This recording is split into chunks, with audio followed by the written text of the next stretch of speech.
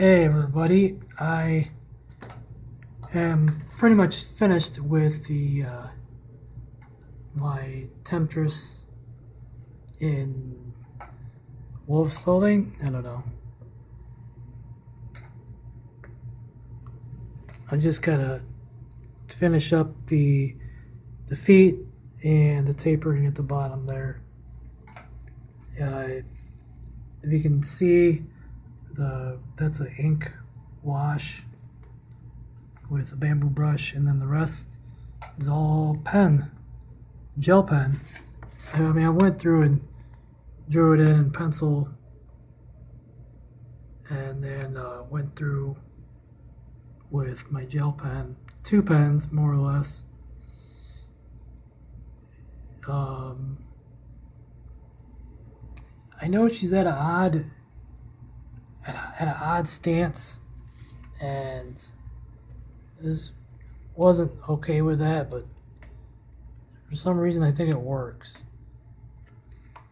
Um, give you a full shot of it there. Just the way I think she's stepping, I think that, and the way her arm is on the left, I think it just makes sense. It's one of those odd moments where she just is shaped oddly. Um, I really like the way this looks. Uh, pen on card on cardboard on uh, this brown paper bag. Uh, it's just it's a big grocery bag. I cut and un- I unfolded and cut. Uh, it looks like a wood print. I think. There is one other color in here. This is silver up in the ears. You can you can't even see it. And I was gonna go through and add silver, but I just kept I kept thinking I don't want to screw it up. One of my biggest uh, problems that I've had to overcome is uh, continuing with a piece in a leap of faith, just like I don't know if something's going to work or not, and I just have to trust myself. And uh, that's the biggest that's the biggest thing I think when I when I do that and when I'm very comfortable with what I'm doing and I don't go crazy because I'll admit when I'm when I'm when something's starting to look good, there have been times where I intentionally just screw it up to make it look just as ugly and screwed up as possible because I just get I don't I don't know how to explain it. It's like I'm overcome with some kind of emotion and I just just go ah, fuck this drawing, fuck it, fuck it, and uh, as I point to her ass again, and this every now and then I'll I'll try really hard to do a portrait or a figure or something, a tree, where I'm just I try to focus and make it look. I don't want to say as realistic, but just to give it, I like giving depth. Because I'm not really going for realism as I am going for it looks like something that could be real, if that makes any sense. That I like. I like making things look like they have some kind of depth to them there. It's just funny that I'm working, you know, on this in contrast to this, there's this, which again, this is a far, this is what I feel fun and comfortable drawing in pen a chick. I mean, this is why I started drawing women figures again lately because it's enjoyable to me and and and it helps me focus. And because uh, I'm a dirty pervert, what can I say? MD stands for masturbational dementia. I don't know. Uh, and so with something like this, it's kind of the same realm where this forces me to take risks and just say, fuck it, let's just see what happens. And then, you know, I've started to fill in gaps of the drips with, with gel pen, with gel pen and marker. Some things don't quite work, other things do.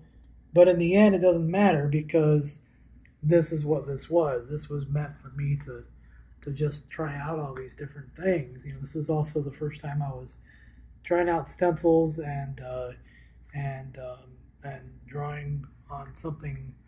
Uh, I have three other boards like this, you know, and this was the first one I had started with, and I thought, well, a perfect way to break in a few things because I have a game plan of what I want to do with the other ones. So this was a good, you know, start to figure out the texture. Because one thing I learned right away was uh, that watercolor will work on this, but I want to keep it as flat, flattened as possible, because and not use it as liberally, liberally as I did. Mean, you just see all this yellow, right, and, and all that. I just literally just let water drip down because I thought, well, I'll get a good wetness going so I can get that watercolor paper bleed. Well, that didn't work like this. This was just a mess and it warped the board. And as soon as it, as soon as I got it damp enough and I started seeing the board warp, I thought, yeah, that was, you know, okay, it's not going to work the way it did. But, you know, I'm still, I'm making it work now. But now I know with the next boards, uh, I'm going to stick to either oil or acrylic and not or very little watercolor, not as drenched. So, but I have other plans for those. Anyway, I just wanted to share these with you, and uh, you know, I I'd like to I'd like to think that someday I'll get good enough and where I can draw something like this in a day. And mind you, this is a lot of detail, you know. And and that could happen.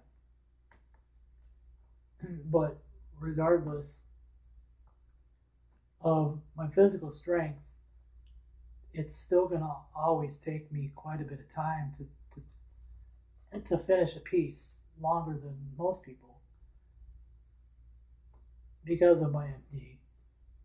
And so I had to make a conscious decision that I accepted the fact that I can't work as hard or as quickly as others. So I have to make the ones that I do create count. I think that's why I started working large again because, or that's why I wanted to start working large because I liked what I did in my sketchbooks and I like to spend a lot of time in them, but they, I, I they weren't gonna I don't know. I just thought I could work bigger. Plus, that just felt that just felt like the next best step, and fun to work large like this. Um, but also because if I'm gonna draw something and it's gonna take me as much time and effort as it does, then I want to, you know, I really want to make it show. I want to really want to give it my all. Chip, chip, cheerio, and all that jazz. Okay. Peace out. Peace out, G.